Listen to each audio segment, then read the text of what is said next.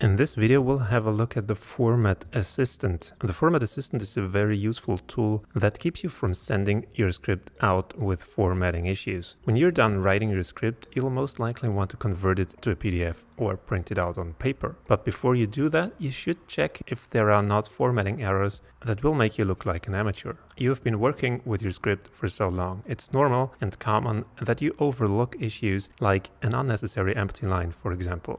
And that's exactly what the Format Assistant is there for. Go to Tools, Format Assistant. The Format Assistant is also started automatically before you print out your script. It scans your script for formatting errors that are most common. You can choose which errors you want to look for. The checkboxes here are pretty self-explanatory and you can choose to include any that make sense with your script. If you go to the options, you can also specify whether you want to automatically scan for formatting errors before printing, which is useful but maybe not necessary if you start the Format Assistant manually. You can also choose if you want Final Draft to ask you whether you want to start the Format Assistant before printing or not. Now, in the Format Assistant itself, you can click Next to jump to each error that Final Draft finds and decide what you're going to do with it.